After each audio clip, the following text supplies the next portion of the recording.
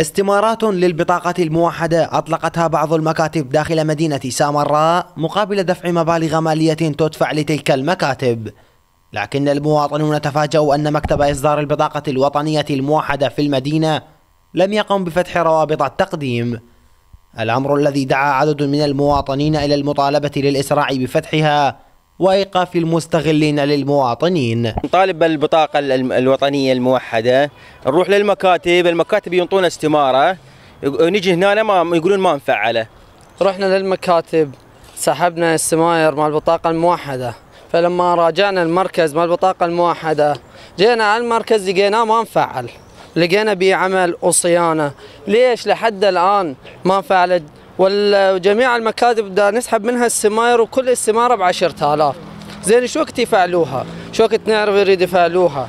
ليش نرجع للمركز وما نلقى أي بطاقة؟ الإدارة المحلية للقضاء أكدت أن عمل البطاقة الموحدة في سامراء لم يبدأ إلى الآن مشيرة إلى أن قائم مقامية القضاء ستعلن خلال الأيام المقبلة عن آلية التقديم وتوجيه المواطنين لاستخدام الروابط الخاصة بإصدار البطاقة الموحدة لاحظت من خلال شبكات التواصل الاجتماعي أن هناك عدد من المكتبات وأصحاب المكاتب آه، يروج آه، للمواطنين بأن يتم آه، أخذ المعلومات حول رفض البطاقة الموحدة بتفاصيل كاملة عن المعلومات العالية من أجل أخذ آه، تسلسل لأجل إنجاز آه، آه، معاملتهم الخاصة بالبطاقة الموحدة. لكن واقع الأمر هذا هذا الشيء هو غير صحيح لأن البطاقة الموحدة في سامراء لم تفتح.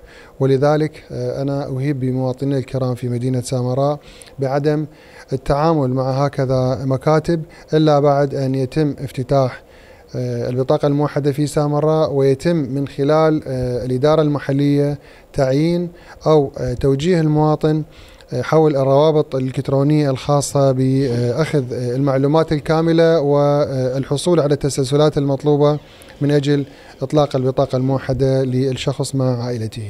ويتطلع المواطن السامرائي إلى الإسراع بافتتاح دائرة البطاقة الوطنية الموحدة بعد أن أغلقت دائرة الجنسية أبوابها أمام المراجعين ليتسنى لها العمل بنظام البطاقة الموحدة.